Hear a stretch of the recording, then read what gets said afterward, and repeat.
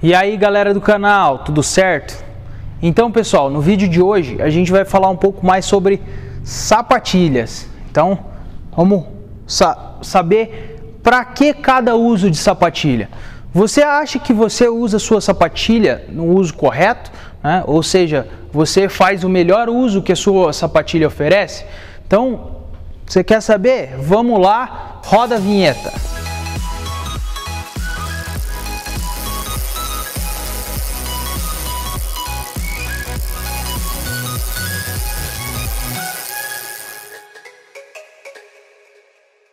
Então, pessoal, hoje existe inúmeros modelos de sapatilha em mercado. Então, existem sapatilhas com sola de borracha, existem sapatilhas com sola de carbono, existem sapatilhas modelo tênis, existem sapatilhas para speed, para triatlon. Então, vamos saber o que mais cada sapatilha dessa pode nos oferecer. Então, primeiro modelo que eu separei para vocês aqui é o modelo tipo tênis. Então, essa daqui é uma sapatilha, só que ela é modelo tênis. Qual que é o diferencial, Herbert? É, para que, que serve essa sapatilha tipo tênis? Né? Qual que é o diferencial? O diferencial é que ela é mais flexível do que a sapatilha normal. Ah, Herbert, mas e, e por que, que ela é mais flexível? A questão é a seguinte: quando a gente pega uma sapatilha mais top, uma sapatilha de, entre, de competição, né, uma sapatilha de competição, é, ela é mais rígida, porque ela tem que transferir uma potência maior para o pedal. Herbert, eu não, eu não faço competição, o meu pedal é fazer um passeio, fazer uma coisa com a galera, a gente gosta de brincar, mas eu não faço competição. Né? Aí o que, que acontece? Você usa uma sapatilha mais rígida, acaba com o tempo incomodando o pé. Né? Então eu, por exemplo, eu estou com a sapatilha muito rígida de carbono que mais de duas horas o meu pé acaba adormecendo, porque a sapatilha não tem flexibilidade nenhuma e essa rigidez acaba adormecendo o meu pé, o pé fica muito parado. Já uma sapatilha desse formato, estilo tênis, você consegue mexer melhor, então você vai ter um conforto muito maior. E o outro diferencial é o seguinte: se você é aquele ciclista que gosta de pegar subidas muito inclinadas ou uma trilha muito fechada e às vezes acaba empurrando a bicicleta, ou até vai numa cachoeira, né? Então sai lá na cachoeira e tal, aquela laje que é lisa pra caramba a sapatilha mais rígida, vamos pegar aqui, por exemplo, esse modelo de sapatilha que é mais rígida do que essa, ela tem menos aderência. Então, na hora de você caminhar, e até por ela ser muito rígida, não tem como você caminhar com conforto com ela. Enquanto uma sapatilha modelo tênis, você tem um conforto muito maior para fazer o seu passeio, para andar na cidade, para descer da bike e caminhar. E esses modelos de sapatilha com o taco de mountain bike, então existe dois tipos de taco. O taco de mountain bike e o de speed, que eu vou mostrar daqui a pouco. O de mountain bike, vocês vão reparar que ele é menorzinho, né? E ele é, ele é dois parafusos. Ele vai aqui embaixo dessa da, da sapatilha fixado aqui. Então, esse taco de mountain bike, ele fica embaixo, embutido na sola. Então, na hora que você clipa, ele clipa, mas ele fica embutido na sola. Isso faz com que você não sinta ele na hora de caminhar. Tanto é que tem muita gente que roda de speed, mas por às vezes caminhar ou por sentir mais confortável, acaba não optando pela sapatilha de speed e usando a sapatilha de mountain bike e o pedal de mountain bike. Pode isso, Herbert? É compatível?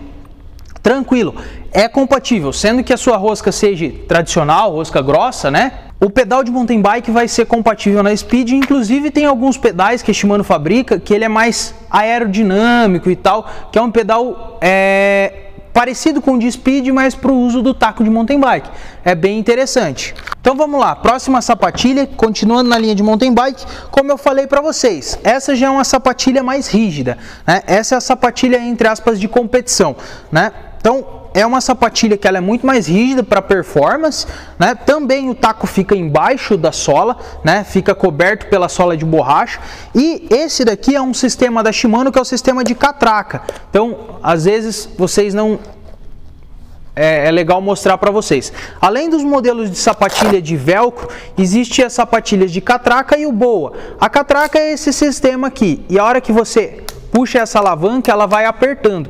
Isso serve para você ter um ajuste melhor no pé. Então, quando você vai sprintar ou fazer uma força maior, você dá umas 3, 4 catracadas para a sapatilha ficar bem firme no pé. O que no caso da sapatilha de cadarço já é impossível fazer pedalando. E a hora que você terminou de fazer aquela força extra, você aperta um botãozinho e a sapatilha acaba abrindo, né? Dando aquela folga que o seu pé precisa. Então a facilidade desse sistema, para quem faz o uso da sapatilha no mountain bike e gosta de fazer um pouco mais de força, quer um pouco mais de performance, é bem legal. E também existe o sistema boa, né? Então o sistema boa é esse sistema de disco. Então ele é um disquinho. Tem muita gente que pergunta, Herbert, esse fio não, não quebra? Pessoal, esse fiozinho aqui ele é cabo de aço. Então ele não vai estourar simplesmente com aperto, né? O, aí Claro, existe alguns cuidados que você deve ter no sistema boa. Nunca rosquear ele até o fim, porque se você rosqueia ele até o fim, acaba encavalando os fios dentro e travando o sistema boa. O que daí tem que fazer é você trocar essa peça que é o sistema boa. O interessante desse modelo de sapatilha do Boa, né, essa daqui em específico da Specialized, é que você pode customizar ela. Então, por exemplo, essa é uma sapatilha preta, né? Então a sapatilha tradicional.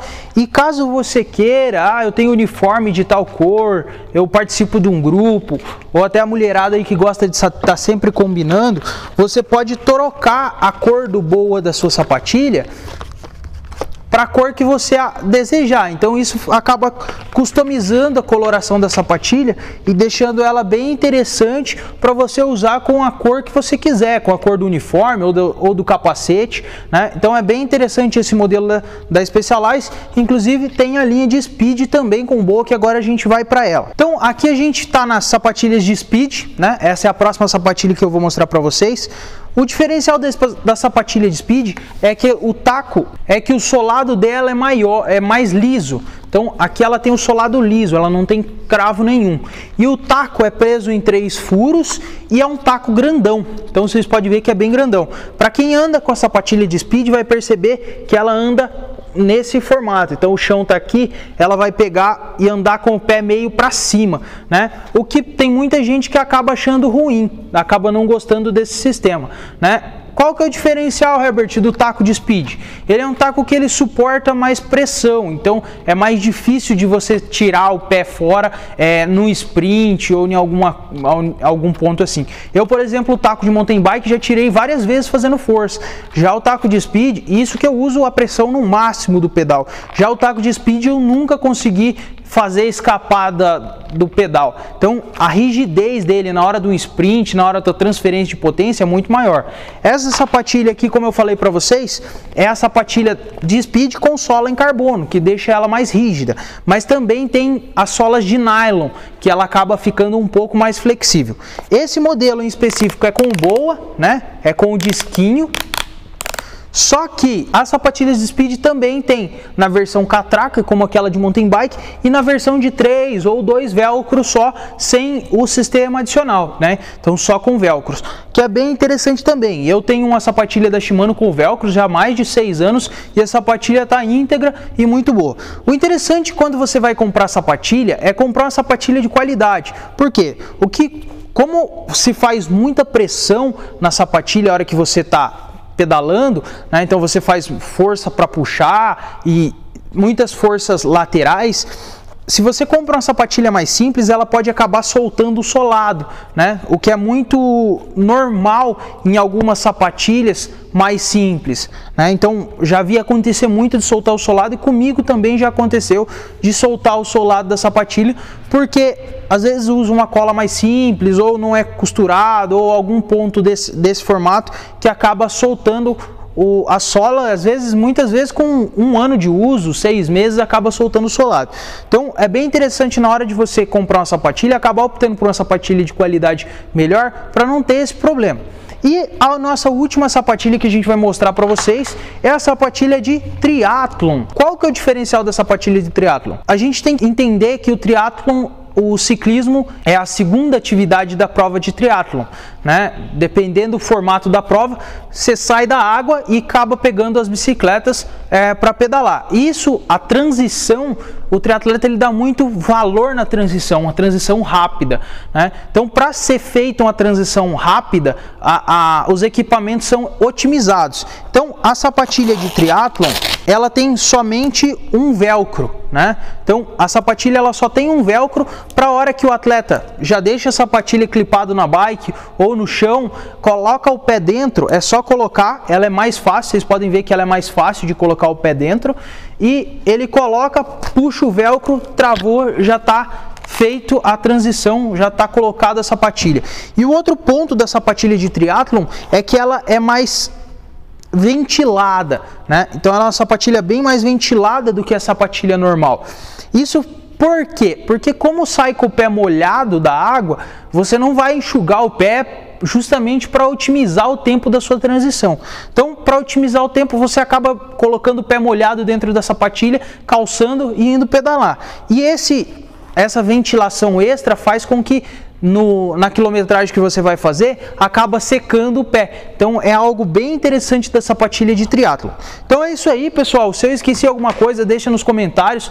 Eu sempre, eu posso não responder todos os comentários, mas eu garanto que eu leio todos e muitas das vezes pela correria acabo não conseguindo responder. Mas deixa os comentários que eu vou ler se faltou alguma coisa ou manda nos ou manda aí no nosso e-mail, que eu vou tentar estar tá respondendo também. Tá bem corrido, pessoal. Tanto é que eu tô tá tendo menos vídeos nesses, nessas últimas três, quatro semanas, até por questão do dezembrão, é, a loja acaba dando bastante correria e eu acabo, eu acabei começando a treinar mais frequente também e, e eu não estou conseguindo dar uma sequência legal ou responder vocês na velocidade que eu gostaria. Mas eu quero pedir desculpa para vocês e valeu por assistir o nosso vídeo. Muito obrigado por estar tá aqui no nosso canal, estar tá nos prestigiando. Se você não é inscrito, acabou de chegar, se inscreve no canal, deixa o like no vídeo. Falou, até mais!